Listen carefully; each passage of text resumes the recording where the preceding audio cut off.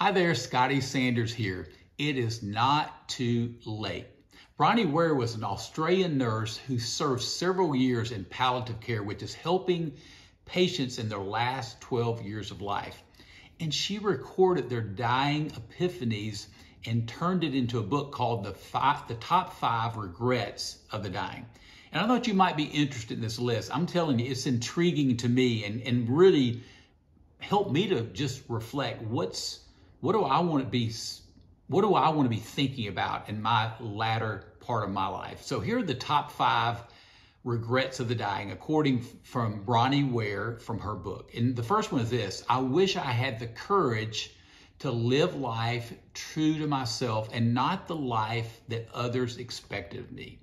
And you may deal with that a little bit. That's something I, I don't know. I've always had the blessing of my parents and others and supportive. So I've never had that where I feel like I need to live a life for someone else or vicariously try to be someone else. So that that's not a struggle for me. The second one is this. I wish I hadn't worked so hard. And by the way, every male patient said this. Now, there are times that I feel that way that, man, life is going by and I'm working so much or doing certain things, but I've learned to have much better work life balance through the years. Here's the third one. I wish I had the courage to express my feelings. So maybe that's one that you would struggle with. Here's the fourth one. I wish I had stayed in touch with my friends. I know I think back to my childhood growing up in high school.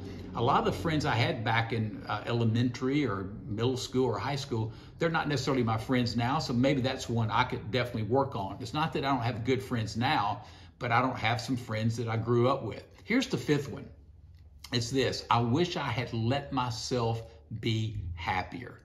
You know, life is just so fast, it goes by. We need to enjoy every day. Every day really is a gift and a blessing. So let me ask you, what is your greatest regret so far in your life? I want you to think about that for a second.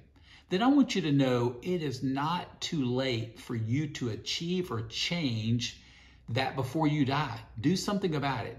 Really, and I heard this the other day that C is between the letter B and D.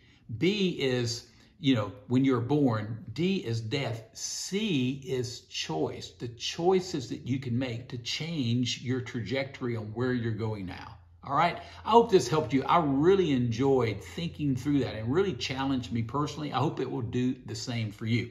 But listen, I want you to know about a brand new free resource we, we're making available to you. It's called uh, Finding the 25th Hour the checklist challenge. It's a great tool to help you in your planning of your day, being more productive, and managing where you spend your time. But it's totally free, so make sure you check that out.